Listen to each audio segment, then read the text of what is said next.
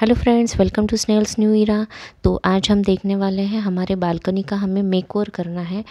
उसमें हम देखने वाले हैं हमें फैब्रिकेशन का काम करवाया है इलेक्ट्रिक का फिटिंग ग्रिल को किस तरीके से आप कलर करने वाले हो और उसके बाद वाटर का फिटिंग ये सारा कुछ इस वीडियो में हम देखने वाले हैं। चलो तो फिर वीडियो स्टार्ट करते हैं। ये जो है, हमारा बालकनी है, पहले पूरा खुला हुआ था। हमारा बालकनी काफ़ी बड़ा है। उससे क्या होता था? अगर कभी बारिश वगैरह आ जाती है तो वो पानी डायरेक्ट हमारे घर के अंदर आ जाता था। इसलिए फिर हमने सोचा, क्यों ना इसके ऊपर हम शेड डाल देते हैं। इसके लिए फिर हमने हमारा बालकनी का फैब्रिकेशन का काम स्टार्ट कर दिया है।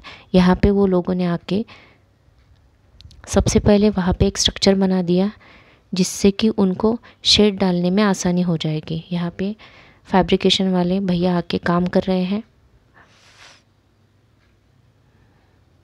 और ये जो है नीचे उनका सामान आ गया।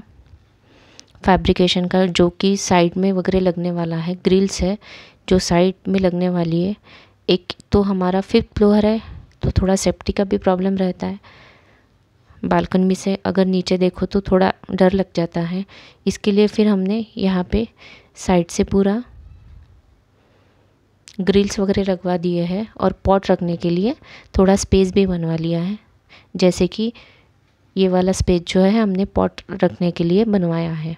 उससे क्या होगा, हम पॉट्स भी रख सकते हैं और नीचे थोड़ा मेज़ भी नहीं होगा और नीचे वाला जो स्पेस है आप पूरा वो यूज़ कर सकते हैं।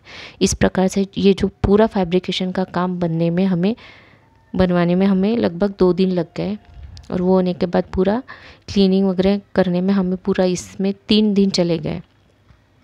और उसके बाद कुछ इस तरीके से हमारा बालकनी जो है दिख रहा था। पूरा फैब्रिकेशन का काम होने के बाद शेड वगैरह डालने के बाद। उसके बाद नेक्स्ट जो पार्ट है, वो हमें करना था वाटर का फिटिंग और इलेक्ट्रिक का फिटिंग यहाँ पे हमने ये जो है पूरा इलेक्ट्रिक का फिटिंग करवा रहे हैं ये भैया। यहाँ पे हमने एक स्विच बोर्ड लगवा दिया है। ताकि कभी आपको, यहाँ पे मुझे वॉशिंग मशीन भी रखना है, इसलिए यहाँ पे हमने वाटर का भी कनेक्शन लेना है और इलेक्ट्रिक का भी कनेक्शन लेना है। इसके लिए यहाँ पे एक स्विच बोर्ड होना काफ़ी ज़रूरी था। अंदर का जो स्विच बोर्ड है, वो तो नहीं हम हमेशा यूज़ कर सकते, इसलिए हमने यहाँ पे एक बाहर स्विच बोर्ड भी दे दिया और यहाँ से जो है ये वाटर का कनेक्शन कर रहे थे। इस प्रकार से यहाँ पे हमने एक बेसिन लगवा लिया है। और यहाँ पे जो है हमारा इलेक्ट्रिक का और वाटर का दोनों भी कनेक्शन पूरे हो गए हैं।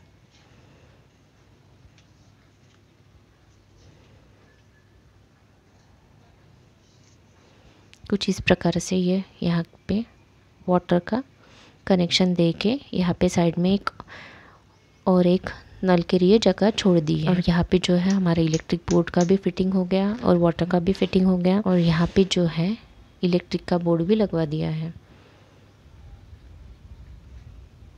अब हमारा नेक्स्ट स्टेप था कि हमें जो है ये ग्रिल का कलरिंग करना था।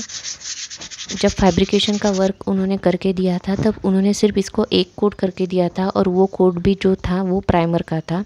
इसके लिए अब हमें इसका कलरिंग स्टार्ट करना था। इसके लिए सबसे पहले हमने इसको अच्छे से क्लीन कर दिया, पोछ लिया और जो नेक्स्ट हमारा यहाँ पे हमने एक एशियन पेंट का प्राइमर का वन लीटर का डब्बा ला के रेड वाला है ये। उसको सबसे पहले हमने प्राइमर करवा लिया। प्राइमर करने से क्या होगा? उसको जो है रस्ट वगैरह लगने का ज़्यादा डर नहीं रहता। है इसके लिए बॉक्स खोलने के बाद हमने इसको अच्छे से मिक्स कर लिया और यहाँ पे हमने एक पॉट में डाल के थोड़ा थोड़ा निकाल के ये पेंट जो है यूज़ करना स्टार्ट कर दिया। यहाँ पे सबसे पहले हम क्या कर रहे हैं? हमारे जो ग्रिल है उसको प्राइमर का कोट लगा रहे हैं, कुछ इस प्रकार से। आप रोलर के हेल्प से भी कर सकते हैं और छोटे ब्रश के हेल्प से भी इसको कर सकते हैं। मुझे थोड़ा ब्रश से करना इजी लगा, इसलिए हम लोग जो है, इसको ब्रश से कर रहे थे। है और आपको आसान लगता है तो आप छोटा रोलर का भी यूज़ कर सकते हैं। इस प्रकार से हमने जो सारा, जो हमारा ग्रिल है, उसको प्राइमर का पहले कोट कर दिया अच्छे से। ऊपर से नीचे से सारा जो है हमने प्राइमर करना स्टार्ट कर दिया। और प्राइमर करने के बाद हमने इसको एक दिन के लिए है, पूरा सूखने के लिए छोड़ दिया था। कुछ इस प्रकार से ये प्राइमर होने के बाद कुछ इस प्रकार से ये लग रहा था। रेडिश कलर में था ये प्राइमर इससे क्या होगा कलर भी आपका अच्छा बैठेगा ग्रिल को और रस्ट वगैरह लगने का भी डर नहीं रखता। इसके लिए हमने सारे जो ग्रिल हैं हमारे, उसको हमने प्राइमर का एक कोट कर दिया। ऊपर से भी। इस प्रकार से सारा हमारा प्राइमर वाला जो है पोर्शन वो ख़त्म हो गया। उसके बाद हमें करना था वो ग्रिल का कलरिंग करना था। इसके लिए हमने यहाँ पे एशियन पेंट का ही कलर यूज़ किया है इमल्शन पेंट जो कि हम मैंने वाइट कलर में मंगवाया था। इसको भी हमने अच्छे से मिक्स कर दिया क्योंकि नीचे जो है कलर बैठा रहता है, इसलिए आप डब्बा खोलने के बाद इसको एक बार अच्छे से मिक्स कर लो और एक पॉट में लेके बाकी का जो कलर है आप अच्छे से स्टोर करके रखिए इसके लिए फिर हमने पॉट में निकाल लिया और उसका जो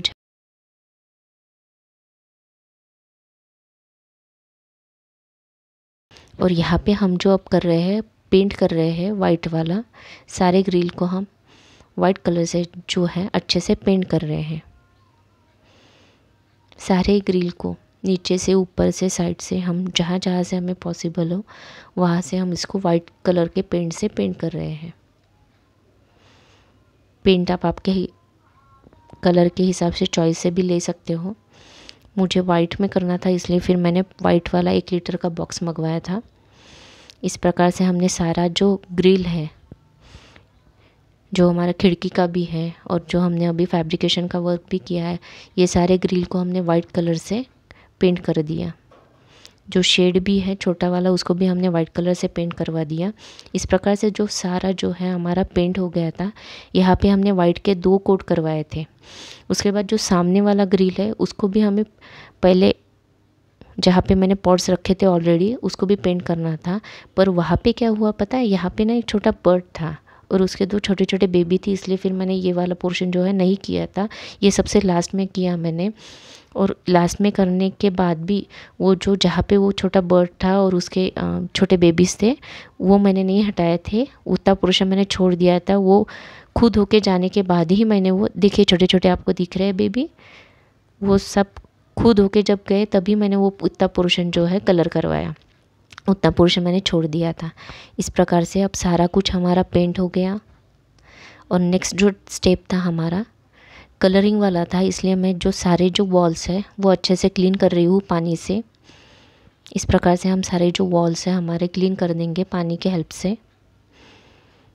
और इसके नेक्स्ट डे नेक्स्ट डे हम क्या करेंगे, इसका कलरिंग स्टार्ट कर देंगे।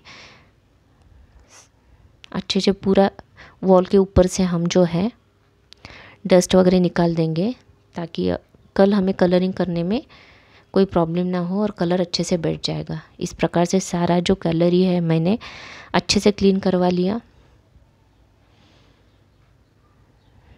सारे वॉल्स जो है बालकनी के, वो भी अच्छे से क्लीन करा लिए।